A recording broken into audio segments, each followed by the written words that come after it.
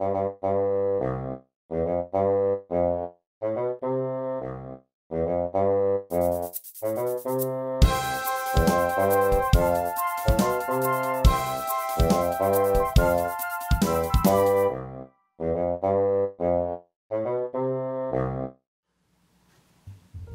everyone, today I'm going to show you how to fold an angelfish. This is a traditional model. I'll be using a 6 inch sheet of kami. And we're going to start with the colored side down.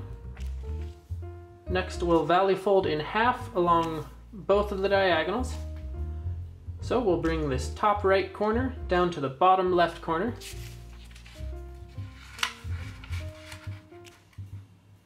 Make sure those corners line up and then hold them in place. And then crease all the way across. And then unfold. Next, bring the top left corner down to the bottom right corner.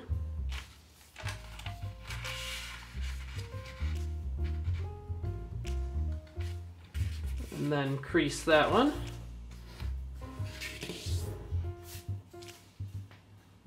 and then unfold again. Next we'll turn the paper over. Now we'll bring the top edge down to lie along the bottom edge. That'll form a valley fold that runs right through the center of this X here.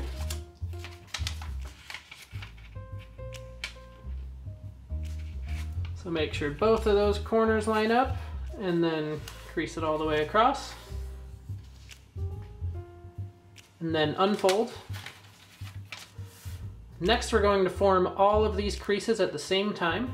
So you'll need to pick it up and then make sure the center of this X is going to point upwards.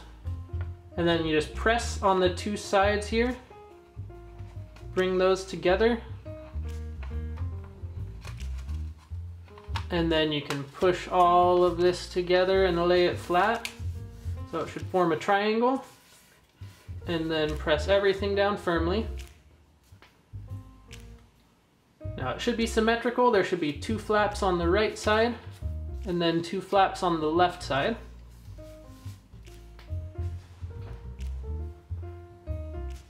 Next we're going to make a valley fold that starts at this top point and runs down this way. And it's actually going to trisect this angle um, so we'll bring this over and valley fold it. Try to get it into thirds so that this is the same size as this. And it's okay if it's not perfect on the first try, just make sure it starts from this top point. And I'm gonna fold it a little bit too far on the first one just to show you how to fix it. Next we'll be bringing this edge over to this edge. And so we'll fold right along this edge here. And you'll notice it doesn't go all the way over because I folded it too far the first time. So I'm gonna unfold this and then we'll have to slide this over a little bit. So I'm just gonna push here and it will roll the paper over. And then I'll form a new crease. And then we'll try again. This time it's almost perfect, which honestly that's close enough. You can fix it and make it perfect if you'd like, but it's really not necessary.